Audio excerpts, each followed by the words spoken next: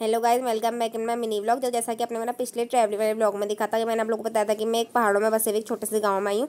तो ये है वो गाँव। जहाँ आप देख सकते हो कितना सुंदर गाँव है और यहाँ है एकदम मिट्टी वाले घर और सीमेंट वाले घर भी हैं एक दो और मिट्टी वाले घर जाते हैं। और यहाँ पे देखो घर पर इन लोगों ने अपने घर पर कद्दू वद्दू गए हैं और ये है मिट्टी वाला घर। यहाँ पर आँगन भी पत्थर वाला ही है और यहाँ पे जो है लोग अपनी गाय भैंसों के लिए घास वगैरह काट के लाते हैं।